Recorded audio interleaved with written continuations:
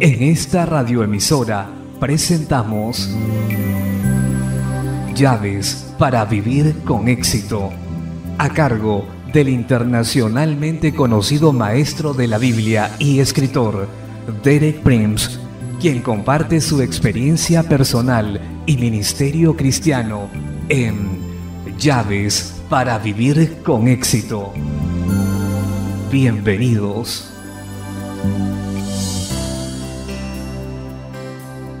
Llaves para vivir con éxito presenta el tema Orgullo versus Humildad, capítulo 2, primera parte.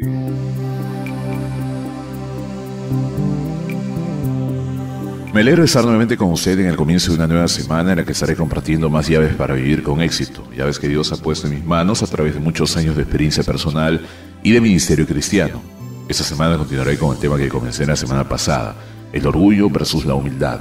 Este es un tema realmente amplio, abarca todo el universo desde la eternidad a través del tiempo y de regreso a la eternidad, desde el cielo hasta la tierra y aún hasta el infierno. Y sin embargo, aún es muy amplio el tema, también se aplica a nuestra vida personal en cada uno de nosotros individualmente.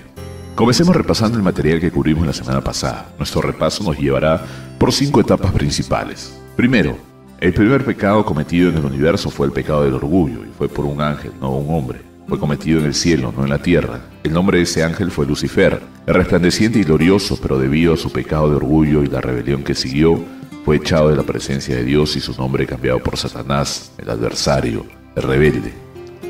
En la segunda etapa Dios respondió haciéndose una criatura de barro, Adán, el hombre. Segundo, en la segunda etapa Dios respondió haciendo una criatura de barro, Adán, el hombre. Dios humilló agachándose hasta el polvo de la tierra para hacer a esa criatura quiso eliminar todo fundamento de orgullo en el hombre y en el universo. Tercero, la tercera etapa, el hombre fue tentado por Satanás, el adversario con el mismo pecado de orgullo con el que Satanás mismo había caído y el hombre culpable de orgullo cayó también.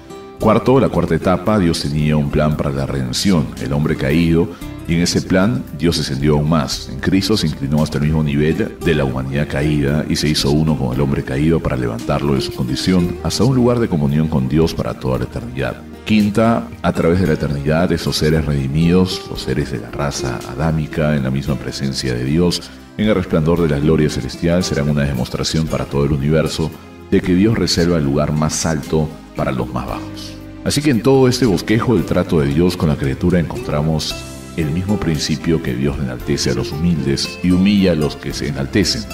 También quiero señalar la naturaleza esencial de pecado en que cayó Adán en el que fue tentado por Satanás. Ya dije que era el mismo en esencia el pecado de Satanás, el pecado del orgullo que lo llevó a rebelarse contra Dios. Voy a leer un solo versículo de Génesis capítulo 3, el versículo 5, donde Satanás presenta su tentación final a Adán y a Eva.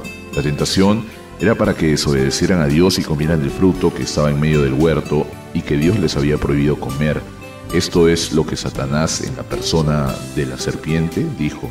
Sabe Dios que el día que comáis de él serán abiertos vuestros ojos y seréis como Dios, sabiendo el bien y el mal.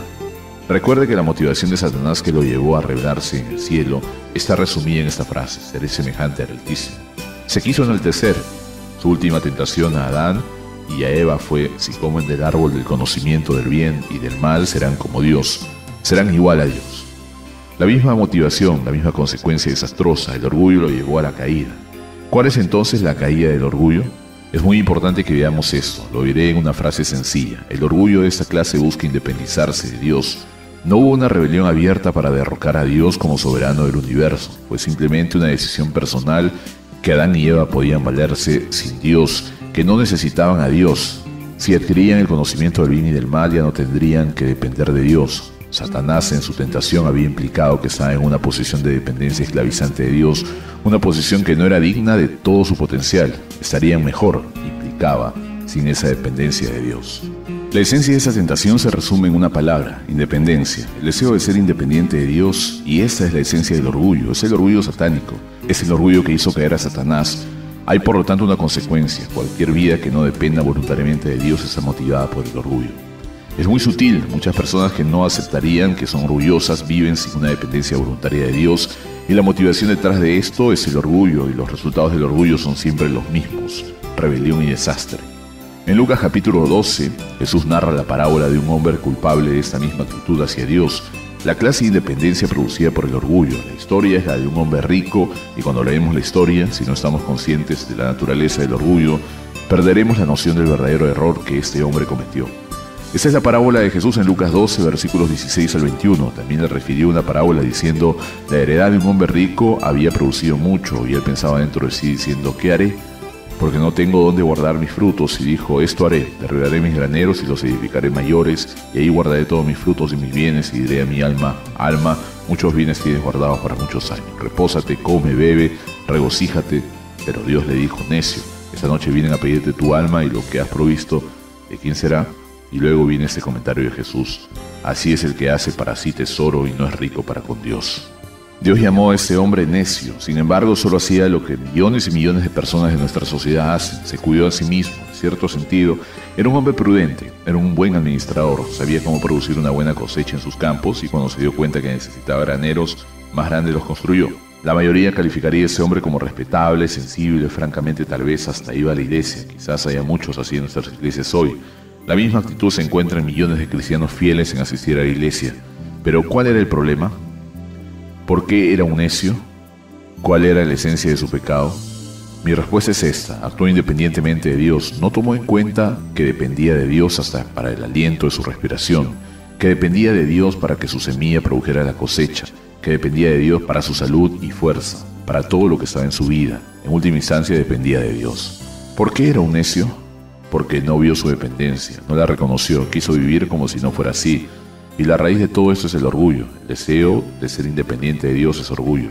El Nuevo Testamento diagnostica ese problema con toda claridad. Por ejemplo, en Santiago capítulo 4, versículos 13 al 16 dice así, Vamos ahora a lo que decís, hoy y mañana vamos a tal ciudad y estaremos allá un año y testificaremos y ganaremos cuando no sabéis lo que será mañana, porque ¿qué es vuestra vida? Ciertamente es neblina que se aparece por un poco de tiempo y luego se desvanece. En lugar de lo cual debierais decir, si el Señor quiere, viviremos y haremos esto o aquello, pero ahora os jactáis en vuestra soberbia. Toda jactancia semejante es mala. La jactancia es orgullo, el deseo de ser independiente de Dios, actuar como si Dios no tuviera autoridad sobre nuestra vida, se resume en 1 Juan 2.16. Porque todo lo que hay en el mundo, los deseos de la carne, los deseos de los ojos y la vanagloria de la vida, no proviene del Padre, sino del mundo. Eso es todo lo que es la vanagloria de la vida, vivir como si no importara, vivir como si Dios no nos ordena, como si no tiene autoridad. Buscar la independencia de Dios es la esencia del orgullo. Bien, nuestro tiempo de hoy terminó. Regresaré mañana a la misma hora para examinar el patrón perfecto de la humildad.